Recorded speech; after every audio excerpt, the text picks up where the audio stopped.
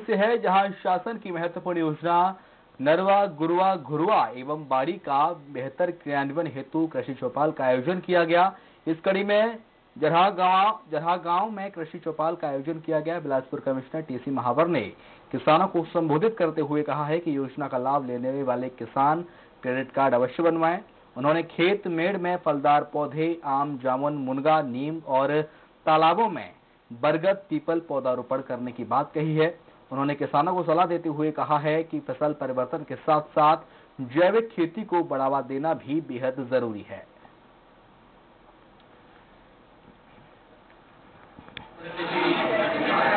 प्रदेश में नरवा बाड़ी और गरबा इन योजनाओं के ज़रिए ग्रामीण अर्थव्यवस्था को परिवर्तन करने का एक नया रास्ता दिखाया है।